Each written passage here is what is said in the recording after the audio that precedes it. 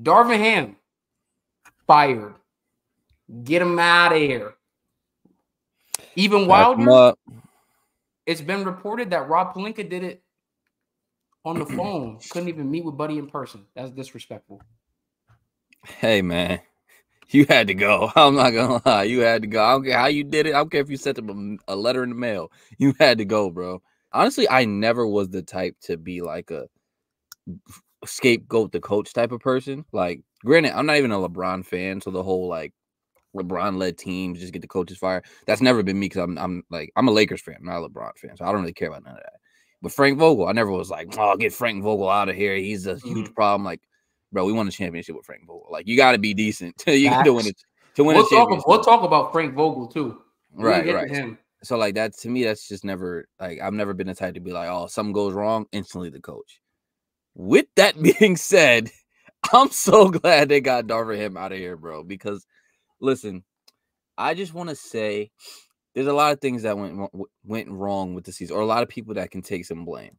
Now, to me, I feel like Darvin Ham is definitely top two because I think that the lack of adjustments, mm-hmm. the lack of just smart rotations and, and just proper rotations, uh, as far as just like people subbing in and out of the lineups that he have on the court, and the lack of him having common sense to call a timeout yeah. when the other team is on a run. Yeah, piss me off so much to a point where I'm like, bro, like please, like you gotta wake up, bro. Like you ever see the meme where they're like, um, Darvin Ham call a timeout and he's like, chill, I'm watching the game. Like that's what it feel like. I swear, I swear he's like, bro, I'm just I'm just chill. I'm a fan. I'm just watching the game. That's what it feels like, bro.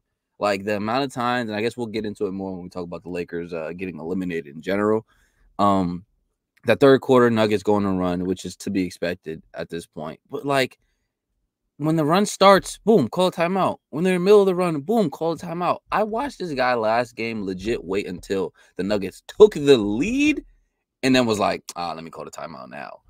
What's the point now? It's like too it's too late. They already got the momentum. They already have the lead now, bro. Like that type of stuff t- uh, definitely pissed me off. And I mean, it's a little bit tough because he is still a young head coach. Like this is only his second season uh, ever coaching, but some like something had to change, bro. Something had to change. And like I said, I don't think it was like just completely Darvin Ham's fault through and through. Um, because I do think roster construction wise, like granted, I th- I thought we had a good roster. Don't get me wrong. I'm not blaming it on like, oh, we never had the pieces to compete. I just think that we didn't do it as smart as we could have, as far mm-hmm. as another big man in there. Um, and honestly, in general, since we won the championship in 2020, breaking like that was the formula, and then to stray away from that all these years has always been on the front office. So mm-hmm. me, I think number one is is the front office from that aspect. I love it. I love it. But they've done better things to kind of make up for it to the point where Darvin Ham gets most of the blame. But in reality, I, I think it's the front office's fault from ever straying away from what worked in 2020. And even in 2021, I feel like in 2021, if we don't, if they don't get hurt, like who knows what happens? Like it's just like they had one injury riddled season, got bounced in the first round, saw the Nets get James Harden and instantly panicked. It was like, oh my God, we need Russell Westbrook. Like, right. let's just trade everybody, trade our role players, and get Russell Westbrook.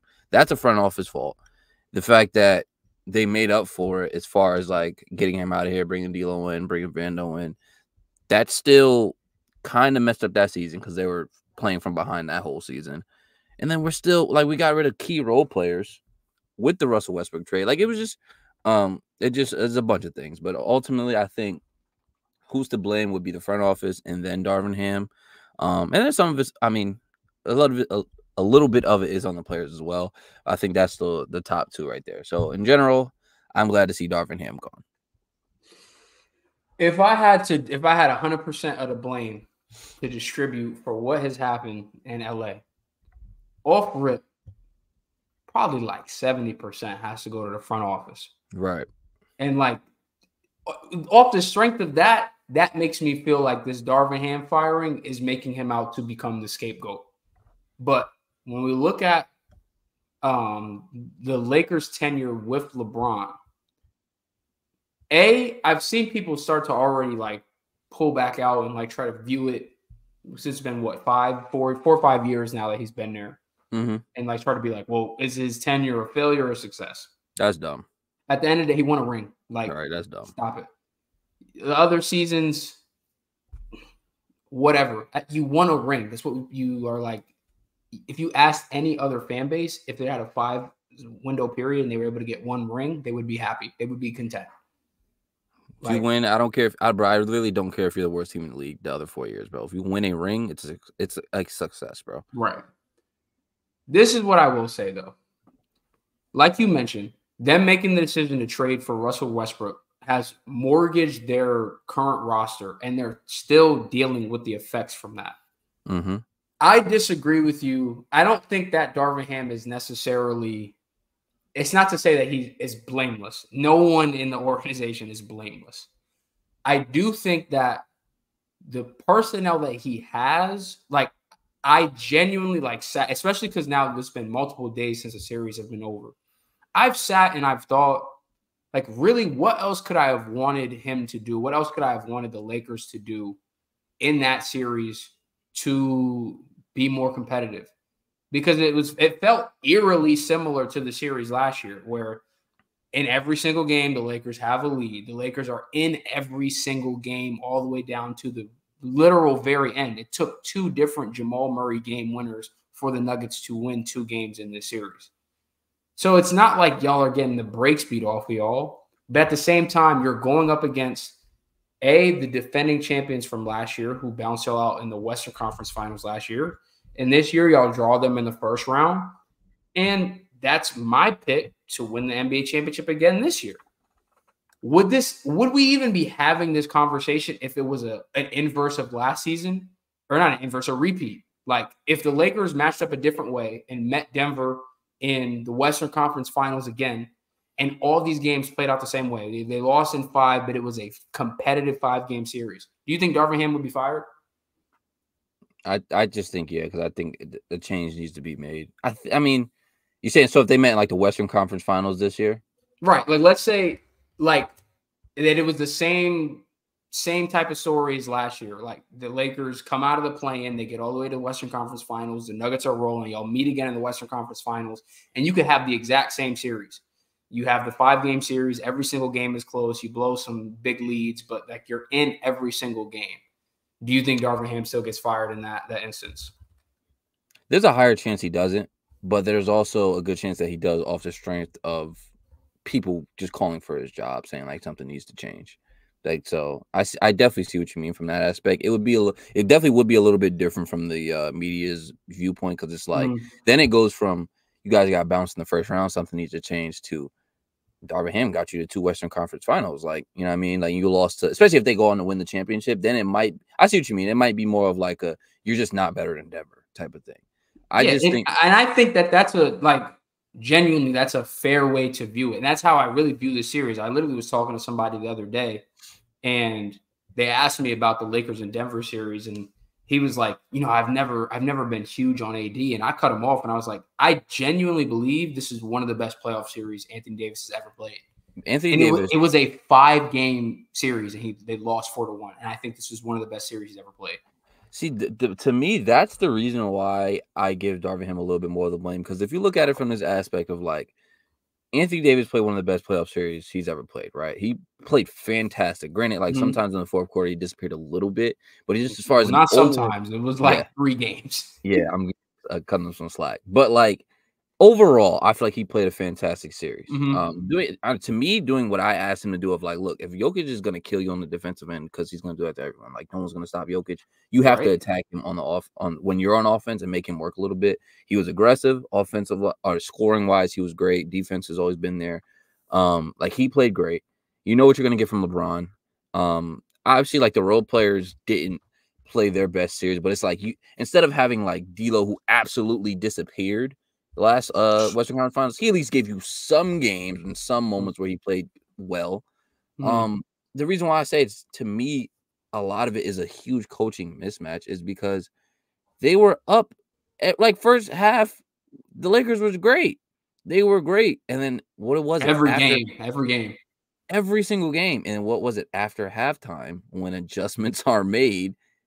The the switch just flipped. Now, granted, I still don't get me wrong. I think that the Nuggets are just a better team. Like, don't I don't think it's like Lakers are here, Nuggets are here, and coaching just got a, a mismatch. Like, no, I think Denver is better, but I think that the coaching mismatch was also huge, and it showed in the fact that every time in the third quarter after halftime is when they started to make their run. So to me, that's why I feel like Darvin Ham should get. Like I said, I, I think the front office gets like first of the blame, but I think Darvin Ham is right there second. Um, because I just I, I don't think don't get me wrong. I think the the the Denver Nuggets are better, but I don't think it's as bad as it was mm-hmm. last year. I swear, like this year felt different as far as like even you probably seen that stat going around. Like Lakers led for I don't know how many more. Yeah, they they were up for significantly more of the games than exactly than Denver was. Just could not execute, which comes down to, don't get me wrong, coaching, but also Nikola Jokic because he is the, the, was the best player on the court. So you can yep. now you can't just discredit that.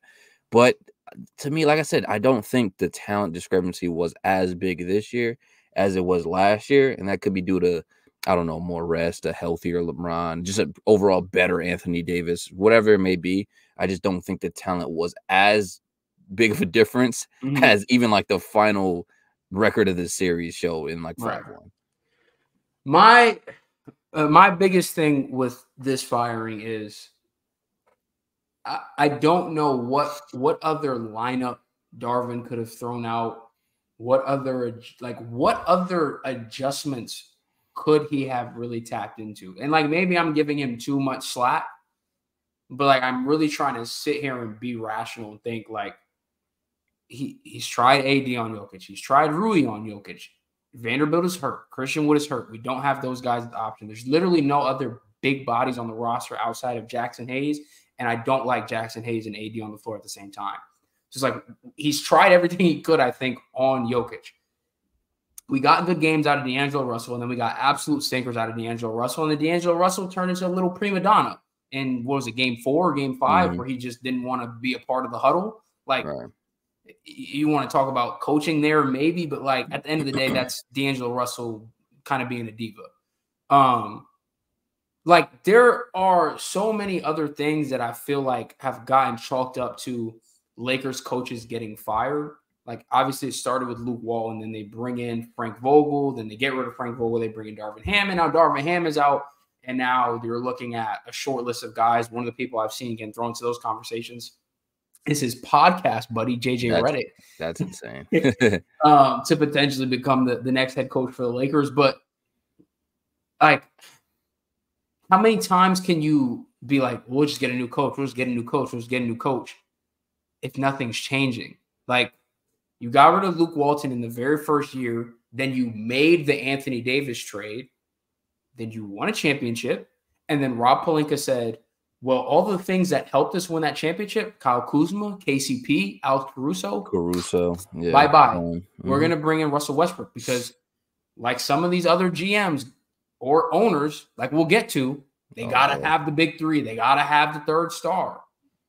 And y'all are still paying the consequences of that trade from a personnel perspective. So I just feel like I don't know what more Darvin Ham genuinely could have done. He coached him to a Western Conference Finals lost to the what ended up being the the champions. Granted, it was a sweep, but it was a, a one of the. You really can't get a sweep much closer than that. The following year, you go out of the play-in, you match up with the exact same team, and it's almost identical series. Like, is a five game series instead of a sweep, but every single game was close. Execution down the stretch matters a ton. Yes, you can play some of that on Darvin, but at the end of the day, and I said this when we were talking in the playoffs last year about uh, Joel Embiid, Doc Rivers could not get on the court and give Joel Embiid the ball. He couldn't get on the court and make Joel Embiid get the ball in his hands in the post. When it was game seven against the Celtics and he didn't have a post touch for the last five minutes after he was literally unguardable the whole game. There's multiple games in this series where Anthony Davis is going at Jokic, and Jokic just he, he's not going to get himself in foul trouble. He's too valuable. So how is it that we keep getting to these fourth quarters where the LeBron and Anthony Davis pick and roll, the, the Nuggets just don't seem to have an answer to it. and then we're like getting away from it. We're not even forcing them to make a real adjustment. Like they're just trying different things. They maybe swap KCP and Aaron Gordon, and it's like we're just not even trying it anymore. As a, like if you're the Lakers, um, Anthony Davis's aggression drops off a cliff.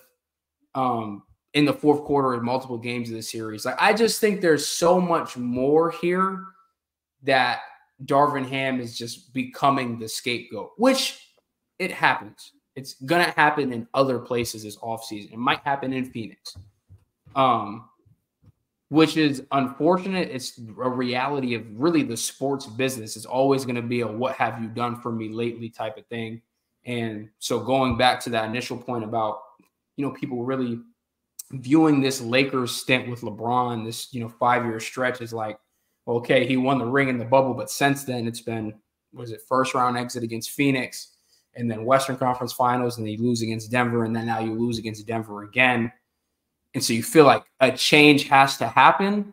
I just don't know if bringing in a new coach and this is the the roster that y'all are going to field makes a big difference.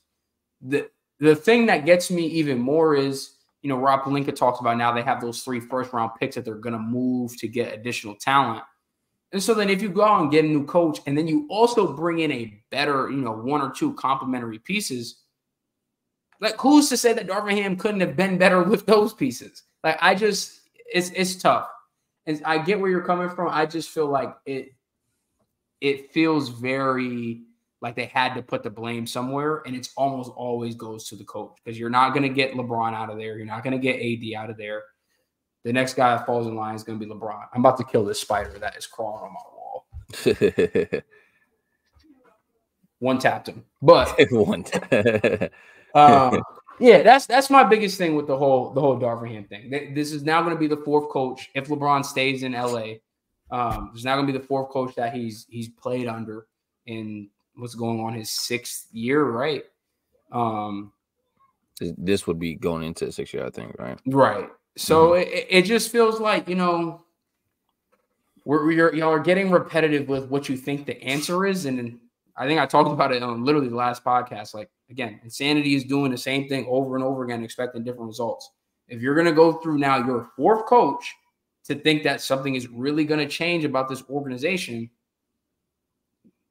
it just doesn't seem like that's really making a difference.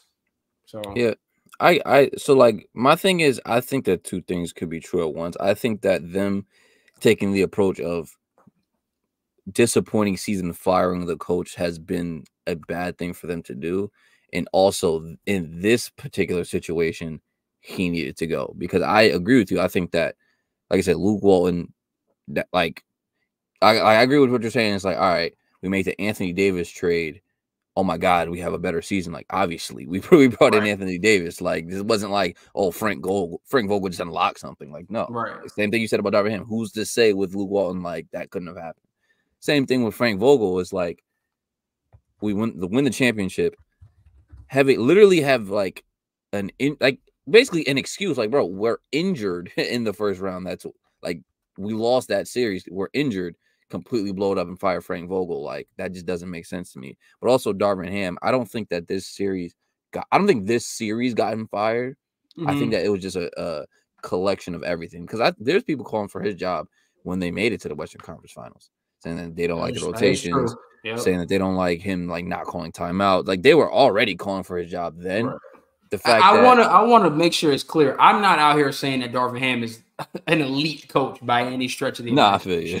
I just don't feel like he's like that is the change that needs to happen. That's really gonna really flip the switch or how these Lakers seasons have been going. I could very easily see y'all bring in a new coach and then you end up with the same result, Absolutely. and y'all are keep in this cycle of like, ah, oh, well, we got to get rid of the coach, and it's like there has to be bigger changes that happen than that. No, I feel you 100%. I just think that with this one specifically, like I said, I've I've never been the type. I don't think I've ever once said Frank Vogel has to go. I don't think I've ever said that. And like I said, with all these other LeBron teams, I wasn't a LeBron fan, so I kind of didn't really care what happened to their coach. But with Darvin Ham, it's like even people are calling for a job when it's like we're starting Taurean Prince over Rui and we're losing games and we got a lineup that got us to the Western Conference Finals last year that we're not running. Like like I said, it's just a collection of everything. So I don't think that this series is the main thing that got him fired. Because honestly, like I said, as far as rotations wise, he wasn't really doing anything that was horrible in this series. Um, like I said, to me, the biggest things were the lack of adjustments and mm-hmm. the fact that, bro, they're going on a run, call a timeout. Like that's right, the main. Yeah. That really is the main thing that was pissing me off. I'm like, bro, call a timeout.